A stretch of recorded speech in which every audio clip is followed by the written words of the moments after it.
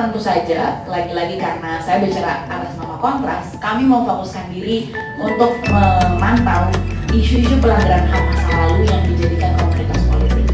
Mungkin hari ini teman-teman juga masih fresh ingatannya.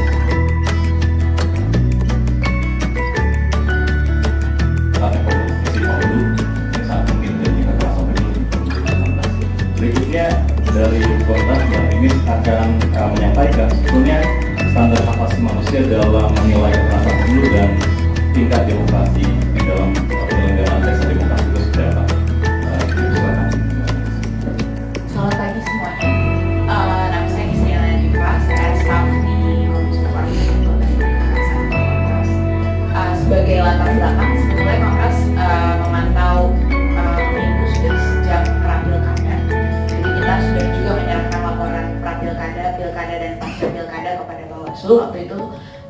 pasca Lebaran.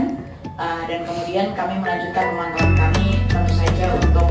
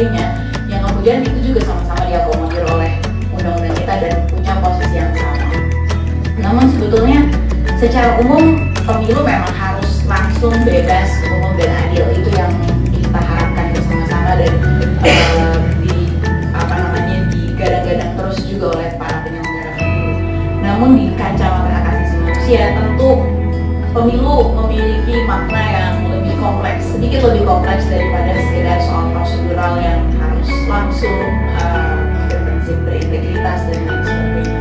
Karena di kacamata hak asasi manusia kami menilai pemilu adalah sebuah proses dan sarana untuk memilih pemimpin yang bisa menghadirkan ketentraman, ketertiban dan kesejahteraan tentu saja lewat tata kelola pemerintahan yang baik.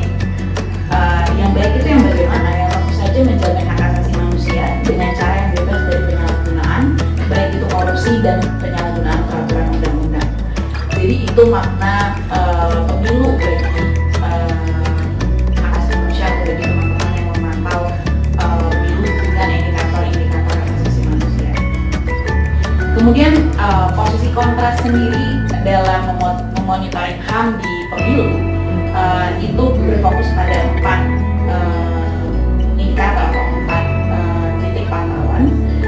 pertama tentu saja yang berkali-kali juga banyak dibilang soal hak politik Eh, karena hak politik merupakan hak fundamental yang eh, tidak hanya berkaitan sama eh, orang-orang yang berkontestasi, tapi berkaitan dengan kita semua atau bahkan berkaitan dengan orang-orang yang memilih untuk tidak berpartisipasi dalam proses politik. Jadi hak politik itu sifatnya melekat dan fundamental. Yang kedua, eh, Kontras juga fokus terhadap posisi pihak berwenang ketika misalnya kekerasan pemilu terjadi, ketika ada pelanggaran hak asasi manusia, sejauh mana pihak berwenang dapat bersikap secara layak dan tepat. Layak dan tepat adalah tentu saja tidak mengekskalasi terjadinya kekerasan dan juga tidak menjadi eh, eh, apa namanya partisan membela salah satu kelompok tertentu. Berikutnya, eh, bagaimana sebetulnya pihak berwenang mengimplementasikan ukuran-ukuran HAM. Kalau teman-teman bicara bagaimana polisi atau TNI eh, men- menjalankan tugasnya dalam mengamankan pemilu, yang saja itu semua sudah ada di peraturan perundangannya masing-masing, yang mana juga har- eh, juga tertulis harus meng- harus utamakan hak asasi manusia. Kemudian uh, berikutnya indikator yang kami lakukan uh, untuk memantau pemilu uh, itu fokus terhadap hak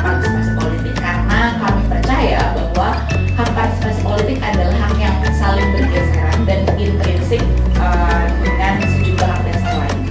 Jadi ya ini bahasa lama yang uh, kemudian uh, terus diulang, namun ya berkali-kali pemilu kami fokus melihat apakah beberapa indikator ini sudah terpenuhi atau Yang mana antara lain adalah hak untuk bebas dari diskriminasi, hak atas kebebasan berekspresi, hak atas kebebasan berpendapat, hak atas kebebasan berkumpul secara damai, hak atas kebebasan.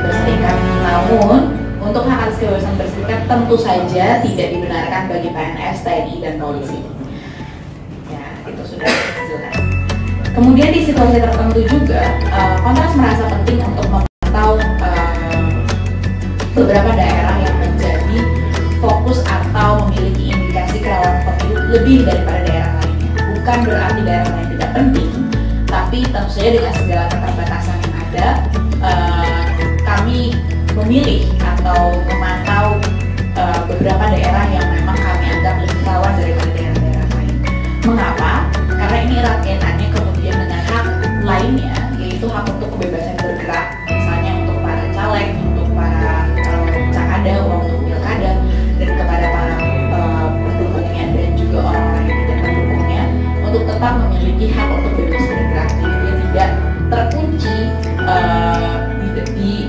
kungkungan daerahnya saja, tapi kemudian mereka punya hak untuk uh, bergerak ke daerah lain misalnya dan melakukan aktivitas politiknya masing-masing. Kemudian yang paling penting adalah tentu saja hak untuk bebas dari rasa takut dan intimidasi.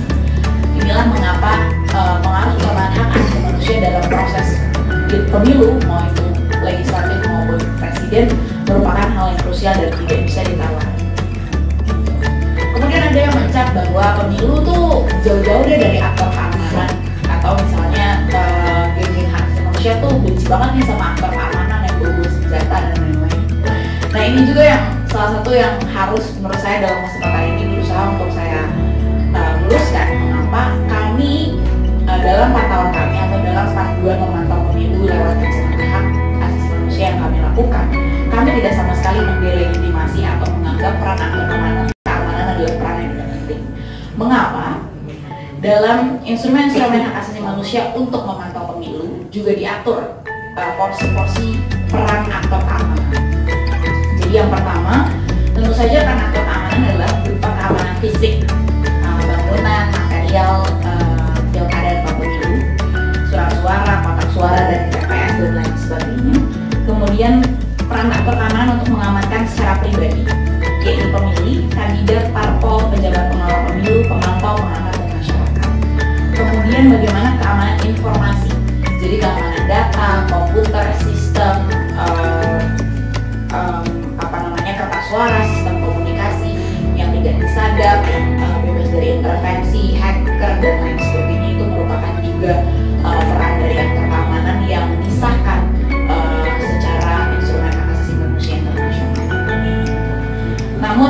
berarti kehadiran aparat yang bergestur berpakaian lengkap di TPS misalnya itu bisa dibenarkan begitu saja. Jadi kalau misalnya di 2014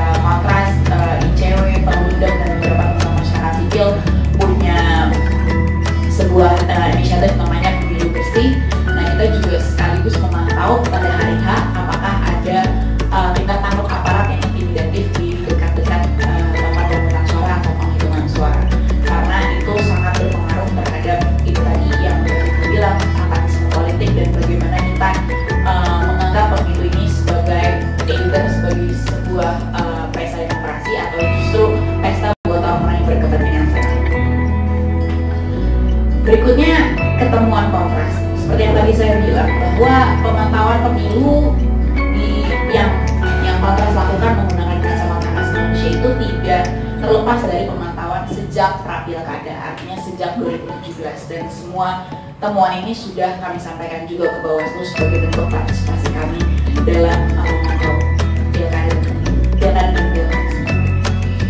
Nah, uh, yang tadi saya bilang juga bahwa kami menemukan adanya 10 provinsi uh, yang uh, kami merupakan rawan berdasarkan tiga indikator memilih tiga indikator isu sebagai batu uji daerah ini rawan uh, atau tidak. Yang pertama adalah uh, bagaimana kondisi pembatasan hak kebebasan berekspresi dan pendapat di daerah tersebut. Kedua adalah pembatasan hak atas informasi di daerah tersebut. Yang ketiga adalah perihal konsesi sumber daya. Mengapa? Kami menilai kebebasan berekspresi dan berpendapat adalah benteng dari uh, free market of pemilu adalah semua ide baik itu mau yang dipilih ataupun pemilih itu keluar di masa-masa pemilu, maka hak atas kebebasan berekspresi dan berpendapat adalah batu uji yang dapat mengukurnya. Sejauh mana penyelenggara pemilu sanggup melindungi hak atas kebebasan berpendapat dan berekspresi dan disertai dengan aktor keamanan yang posisinya sudah diatur juga di uh, penjelasan saya sebelumnya.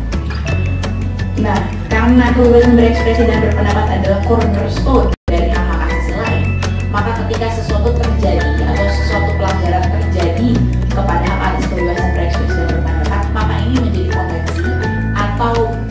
dapat uh, menjurus kepada pelanggaran hak asasi termasuk kepada kekerasan pemilu. Itu dia mengapa tadi juga Mbak Titi berkali-kali bilang bahwa hak politik adalah uh, landasan yang paling utama uh, dalam proses pemilu ini untuk mencegah uh, riuh rendah pemilu ini berujung kepada kekerasan pemilu. Yang kedua, mengapa hak, asas, hak atas informasi merupakan uh, batu uji kedua yang yang Karena kami menilai bahwa hak atas informasi itu mengacu pada posisi pers atau posisi media dalam memberitakan pemilu. Uh, saya ingat betul di 2017 hingga 2018 ada banyak sekali daerah yang uh, pemimpin daerahnya atau pejabat daerahnya melarang pemberitaan pers dari sejumlah media. Uh, itu kaitannya karena mereka punya kecenderungan memenangkan uh, kelompok politik tertentu atau semata-mata uh, alergi terhadap uh,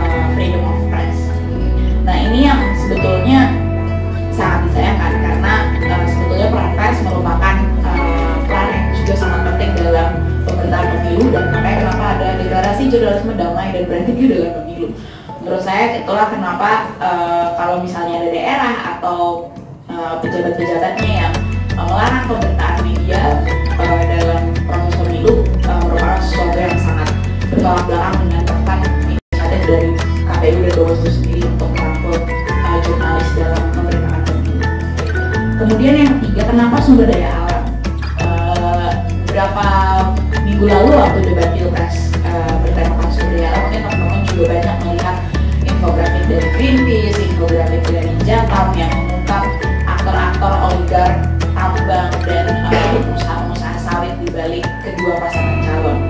Ya, tanpa bisa dipungkiri kenapa sumber menjadi sebuah isu yang vital juga untuk dipantau karena ini erat kaitannya dengan sokongan dana, konflik kepentingan, bagaimana memiliki rasa kepemilikan yang tinggi terhadap lahan, tanah, hutan tertentu yang kemudian itu juga menjadi target dari kepentingan politik yang uh,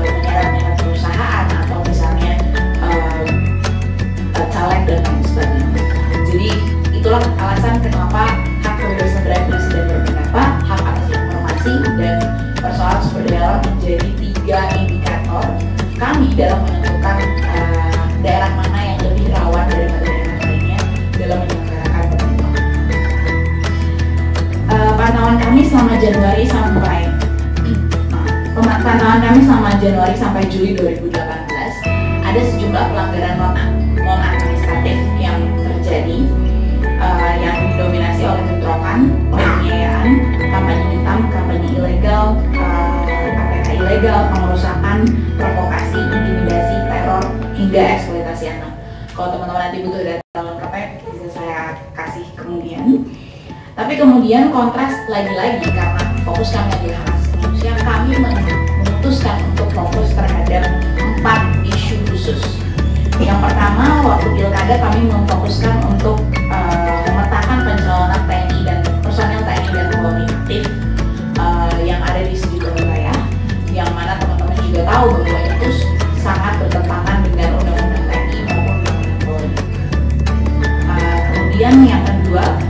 ketika pilkada kami juga memetakan eh, daerah-daerah yang memiliki calon karena kami percaya kalau misalnya kaderisasi partai politik kita berjalan dengan baik pendidikan politik kita berjalan dengan komprehensif dan tidak ada ketakutan dalam tanda kutip untuk terjun ke dunia politik tentu tidak akan ada untuk daerah-daerah yang memiliki calon dan ini juga erat kaitannya dengan budaya politik dinasti seperti di beberapa daerah dan lain sebagainya. Dan ini adalah jelas bahwa hak politik kita juga belum banget jadi itulah kenapa uh, kami mengatakan juga selain pencalonan TNI Polri ketika pilkada juga adanya beberapa daerah yang memiliki calon tunggal yang ketiga adalah kami memfokuskan diri terhadap pelanggaran yang dilakukan oleh aparatur sipil negara. Uh, sayangnya kami belum menemukan atau belum dibalas suratnya oleh Komisi ASN uh, terkait permintaan informasi yang terbaru. Namun Maret 2018 saja Komisi ASN sudah menerima 200 dugaan pelanggaran PNS yang terlibat politik praktis dan jumlahnya bertambah hari. Jadi saya juga belum kebayang apakah sekarang dan apa namanya angka itu sangat berlipat ganda karena uh, kalau misalnya dibaca dari pemberitaan media juga sudah uh, Bawaslu dan KPU juga sudah banyak mengeluarkan pernyataan pers juga untuk menindak PNS yang bahkan nge-like status Facebook atau mengunggah Twitter dan lain sebagainya terkait soal keberpihakan politik. Yang keempat tentu saja, lagi-lagi karena saya bicara atas nama kontras, kami mau fokuskan diri untuk memantau isu-isu pelanggaran HAM masa lalu yang dijadikan komunitas politik. Mungkin hari ini teman-teman juga masih fresh ingatannya ada beberapa argumentar yang mengklaim mengetahui posisi uh, orang-orang yang digunakan secara paksa dan kalau misalnya teman-teman ingat lagi sebenarnya ini nggak terjadi pertama kali dulu Wiranto Zain dan sem dan semua orang dalam tanda kutip ketakar omongannya kalau misalnya udah uh, pra pilpres semua yang ada tidak ada menjadi ada dan kenapa nggak ngomong dari dulu itu selalu uh, keluar di masa-masa 35 hari ya sebelum pencoblosan. Nah kemudian dari semua pantauan yang Kontras lakukan sebetulnya ada pola-pola yang terbukti atau hampir terbukti pernyataannya dari tadi terus terjadi. Jadi kayak pola-pola intimidasi teror itu tetap menjadi uh, the top of violation atau the top of potential violation dalam pemilu yang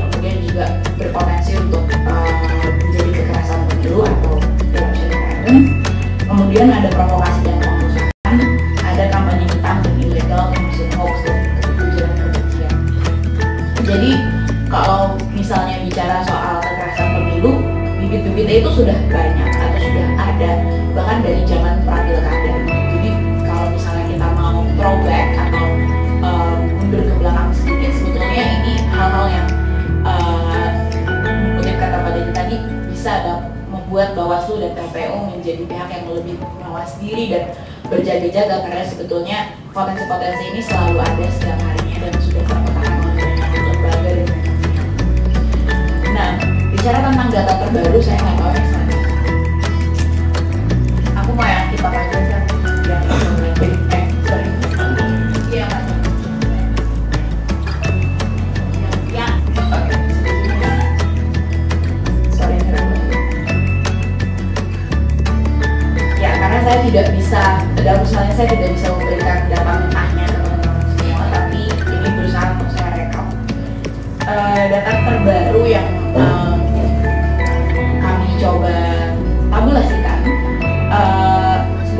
adalah data data kekerasan yang secara daily atau secara harian kontras pantau.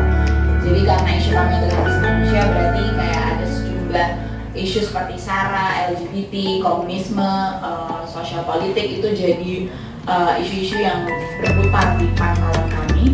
Namun kemudian karena ini momentum menjelang pemilu,